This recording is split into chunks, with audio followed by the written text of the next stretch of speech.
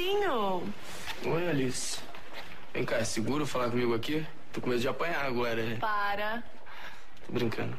É, mas eu não. Eu não gostei do jeito que o Pedro falou com você. Ah, relaxa, normal. Mesmo assim, eu queria te pedir desculpa. Ah, impossível, né? Como assim impossível? Impossível porque você não fez nada pra me pedir desculpa. Vai, desculpa por quê? Por você ser bonita, interessante, deixar seu namorado louco de ciúme. Olha, que assim parece que você tá me cantando mesmo, Binho. Pô, eu que peço desculpas então se eu dei essa impressão. Só tô sendo sincero, Alice. O que, que eu posso fazer se você tem uma beleza absolutamente verdadeira? Obrigada. E olha, acredita em mim, eu não tô tentando te roubar de ninguém.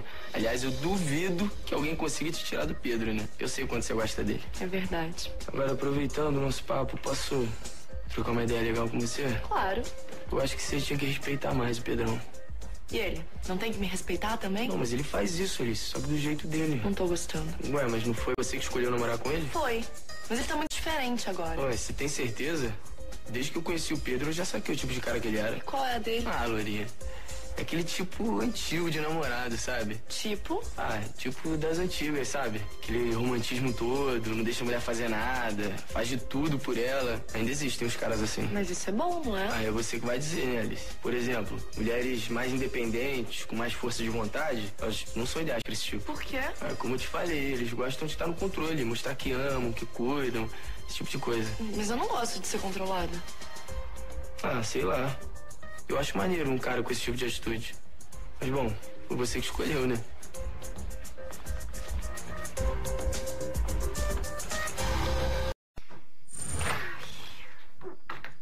Ah, o traidor.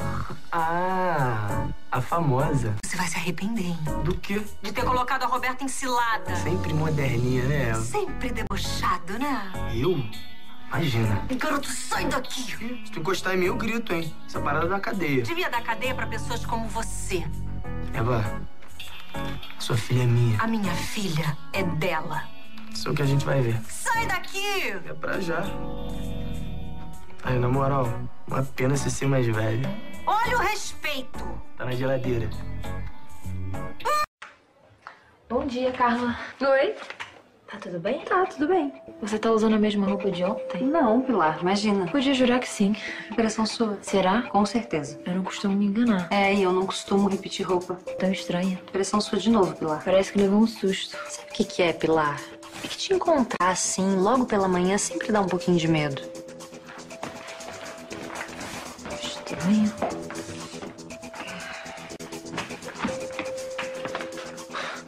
Posso passar? Oi, Tomás, é que eu não te vi. Tá, e posso passar ou não? Nossa, que mau humor logo cedo. Bom dia.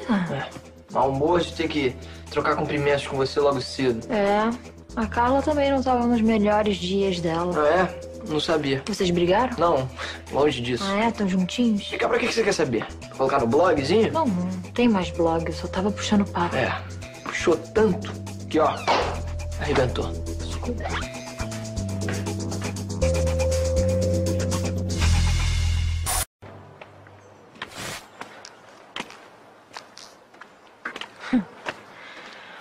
Fugindo do esforço? Pô, hoje não deu. Esqueci meu pé quebrado falso em casa. Pode fazer gracinha, mas usar isso aqui é um saco, tá? Ah, que nada, Pilar. Aproveita as mordomias de pobre filha machucada e fica na paz, beleza? Não é tão fácil assim. Qual é a dificuldade?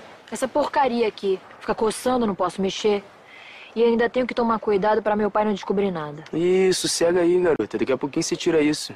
Só é importante que você não manche a sua nova imagem de jeito nenhum. Pelo menos eu tô fazendo a minha parte. É.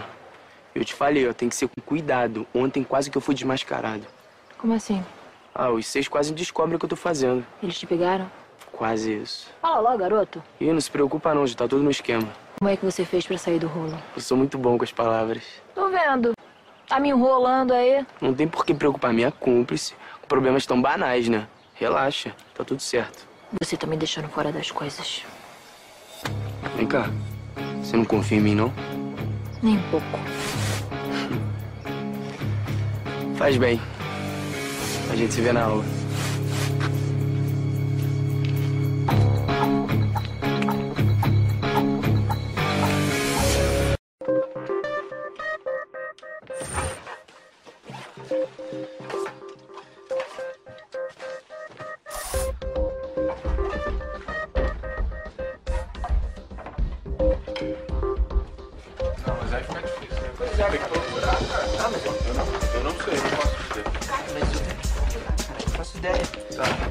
Não faço ideia de onde eu tenho colocado. No mesmo lugar que o bom senso, né, Tomás? Pedro, na boa, sem lição de moral agora. Me ajuda a procurar? O que? O bom senso ou o livro?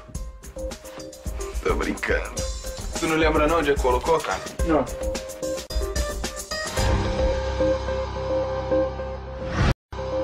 Com a cabeça em outro lugar.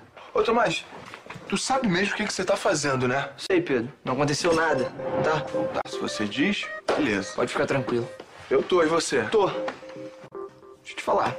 Você nunca pensou em avançar mais no namoro, não? E a discussão aqui é você, não eu, Eu hein? tô querendo conversar, cara.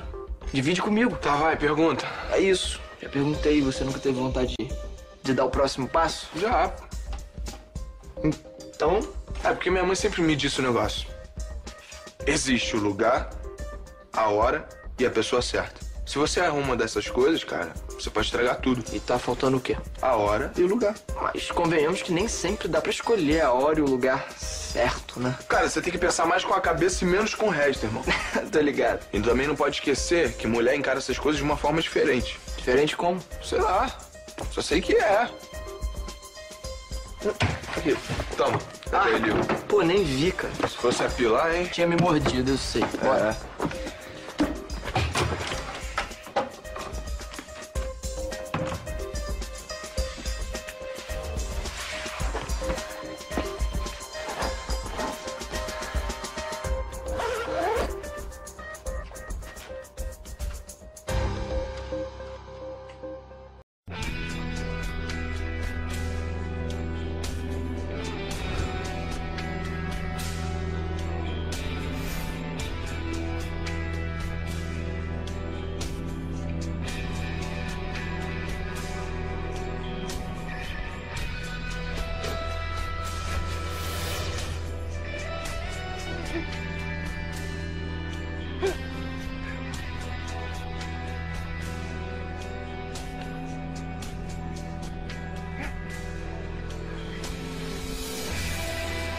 E aí, tu não cansa, não? Não.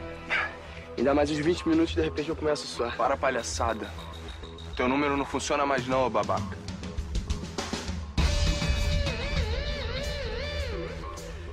Pera aí, agora você me confundiu, Pedro. O que que você tá falando, velho? Você sabe muito bem. Pior que eu não sei, não. Mas, ó, fazer exercício ajuda a aliviar a tensão. Acho que você tá precisando. O único exercício que eu tô com vontade de fazer aqui é te encher de porrada, moleque. De repente, eu não sei se eu vou levar. Mas até aí qualquer exercício vale a pena. Não, tu não vale o esforço. Você vai me falar o que eu fiz de errado ou tem que adivinhar? O lance do Diego. Foi você. Eu sei que foi você. Ah, pera aí, Pedro. Na moral, moleque. Agora eu me perdi, mano. Você tá falando das notas baixas do cara? Porque isso ele faz sozinho. Não adianta vir de gracinha não, Binho. Eu sei que foi você que colocou a garrafinha lá. Para com isso, moleque. Já falei que eu tô aqui na paz, cara. Pegou a mania da Roberta de achar que eu sou culpado em tudo A agora. Roberta te sacou direitinho, Binho. Só que ninguém imaginava que você fosse capaz de ser tão canalha. É o amor. Ela me sacar, é claro. Não eu ser canalha, porque eu não sou, eu sou legal com todo mundo, Você assim. é falso. Você é falso. E tua máscara caiu, irmão. Para com isso, cara. Eu nem sei que lance de garrafinha é Sabe, esse. lógico que sabe, tá na tua cara que tu sabe, moleque. Pior que eu tenho que admitir que tu é bom. Melhor que pilar, dá de 10 a 0 nela. Só que acabou. Aí, Pedro. Você tem certeza que você não quer vir treinar comigo? Só se foi outra vida, porque nessa tu perdeu. E ó, fica longe dos meus amigos, hein? Ouviu?